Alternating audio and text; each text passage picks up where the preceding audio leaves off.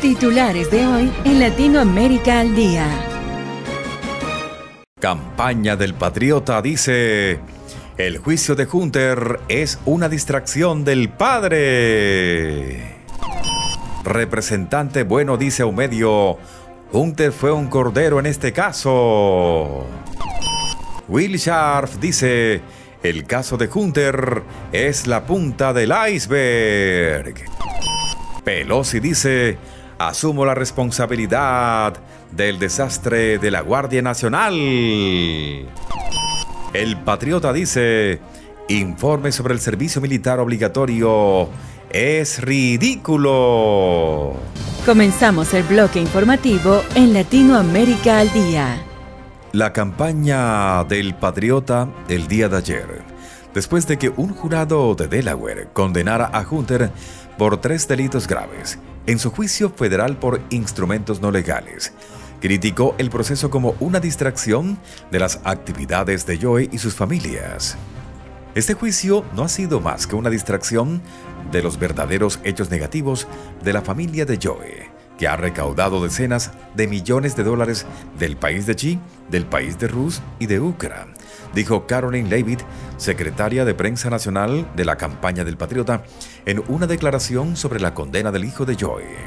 Añadió que el reinado de Joy sobre el imperio negativo de la familia llegará a su fin el 5 de noviembre y nunca más un Joy venderá el acceso del gobierno para beneficio personal.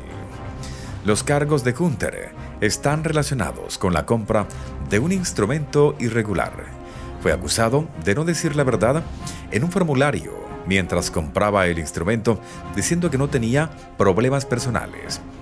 El veredicto se emitió en Wilmington, Delaware, después de que el jurado deliberó durante aproximadamente tres horas durante un periodo de dos días. Todavía se enfrenta a un juicio en septiembre, apenas dos meses antes de las elecciones generales de noviembre, acusado de no pagar 1.4 millones de dólares en impuestos, y los republicanos en el Congreso han dicho que seguirán buscando información sobre él como parte de su investigación de juicio político contra su padre. Urgente, último minuto, Latinoamérica. De otro lado, el representante Bob Good, republicano por Virginia, dijo que la condena de Hunter por tres delitos graves en Delaware no es el mayor problema que enfrenta la primera familia. Claramente esto fue poca cosa aquí con Hunter, dijo Good durante una entrevista. La familia de Joe es la familia más negativa en la historia de la presidencia, ciertamente en los tiempos modernos. Nunca hemos tenido un presidente en ejercicio en los tiempos modernos acusado, con una enorme cantidad de pruebas de hechos negativos de negocios a este nivel de haber ganado millones de dólares con relaciones comerciales del país de Chi, del país de Ucrania, del país de Rus, etc. Y ese es el verdadero problema, afirmó. Y creo que esto es, renunciemos a Hunter como el cordero aquí. Renunciemos a él y tratemos de pretender que estamos impartiendo justicia de manera justa o una justicia ciega, cuando todos saben que ese no es el caso. Hay una realidad real hechos negativos graves que implican a Joe y que deben ser perseguidos con todo el peso de la ley. Hunter ayer, de 54 años, fue declarado culpable de los tres delitos graves relacionados con la compra de un instrumento en 2018 no legal, cuando afirmó no realmente en un formulario de compra obligatoria de ese instrumento que no tenía problemas personales. Fue declarado culpable de no decir la verdad a una persona con esos negocios, con licencia federal, hacer una afirmación no real en el formulario diciendo que no tenía problemas y poseer no legalmente ese instrumento.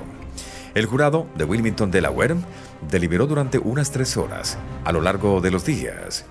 La opinión de Good fue compartida por varias voces conservadoras en la plataforma de redes sociales La Red del Pajarito tras el veredicto.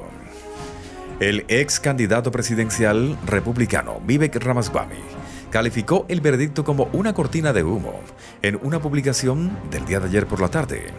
Lo he dicho antes y lo diré de nuevo. El juicio de Hunter fue una farsa, escribió Ramaswamy. Es una cortina de humo para legitimar la condena del patriota y desviar la atención de los probables hechos negativos reales de la familia de Joe vender nuestra política exterior para enriquecer a su familia. No caigan en el juego. No lo tergiversen. persiguieron a Hunter por esto, por lo que no tienen que perseguirlo por hechos negativos que derribarían a Joe, dijo Comfortably Smooth, aparentemente refiriéndose a Joe, no quites la vista de la pelota. De otro lado, Will Sharf, abogado del Patriota y candidato a fiscal general de Missouri, dijo a un medio que la reciente condena del hijo de Joe Hunter es solo la punta del iceberg. Hunter fue condenado el martes por tres delitos graves relacionados con la compra del instrumento durante un periodo en el que tenía problemas personales.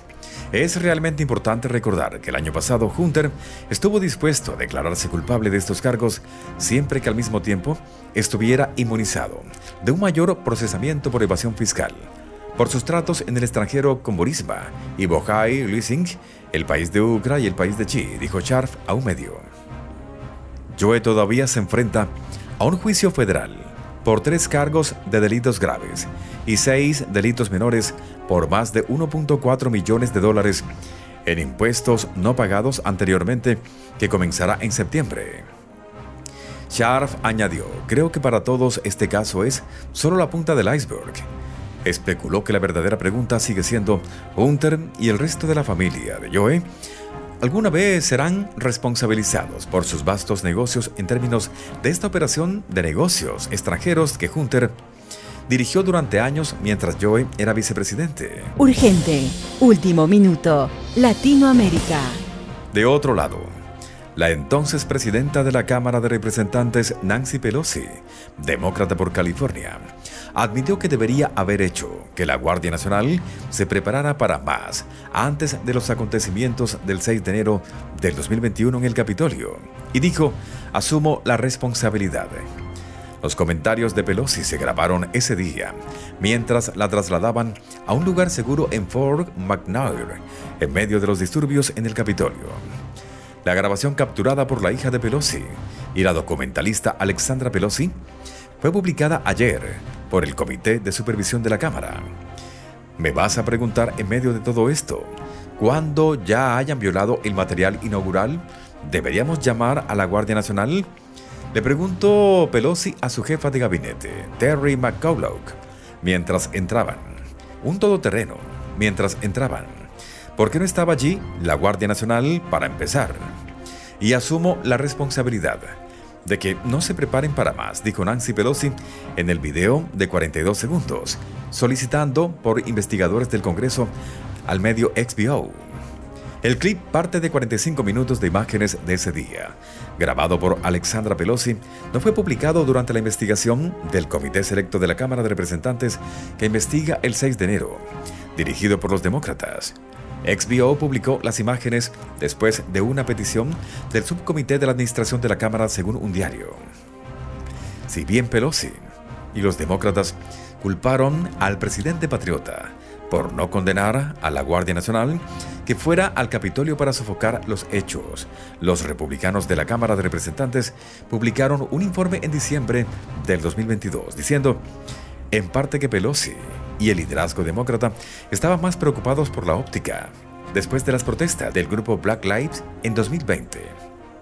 No se trataba de reforzar la seguridad en el Capitolio antes del 6 de enero. Eso se reiteró en privado y en audiencias públicas con el actual subcomité del 6 de enero. Altos funcionarios del ejército dijeron que se vieron imposibilitados de responder a los disturbios por la óptica del despliegue de la Guardia, según el informe de un diario. Urgente, último minuto, Latinoamérica. De otro lado, el Patriota criticó un informe que decía que el servicio militar obligatorio podría implementarse en una segunda administración de Trump.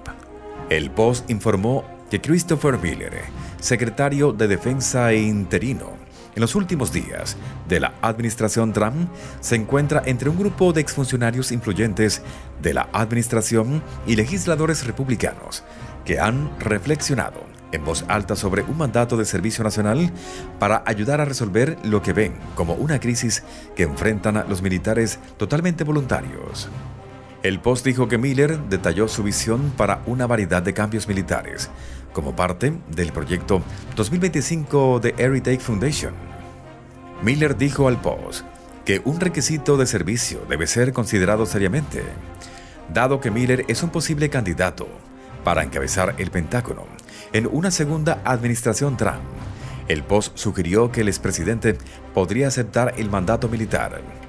El patriota respondió en su página web. Al medio Post de Noticias No Reales se le ocurrió la ridícula idea de que el patriota pedirá el servicio militar obligatorio, escribió Trump. Esto es solo una continuación de su intento fallido de ocho años de dañarme ante los votantes. La historia no es real. De hecho, nunca se me ocurrió esa idea. Solo un antiguo periódico negativo, que ha perdido el 50% de sus lectores. Fabricaría una historia así, solo otra historia no real, una de muchas inventada por el Dick Washington. De 1948 a 1973, durante tiempos de paz y periodos de conflicto, se reclutaron hombres estadounidenses para cubrir vacantes en las Fuerzas Armadas que no podían cubrirse por medios voluntarios. A partir de finales de 1979, se iniciaron una serie de esfuerzos de revitalización para ayudar a una rápida movilización en caso de emergencia. En el verano de 1980 se reanudó el registro. Los hombres deben registrarse dentro de los 30 días posteriores a su cumpleaños número 18, según el sistema de servicio selectivo. Latinoamérica al día.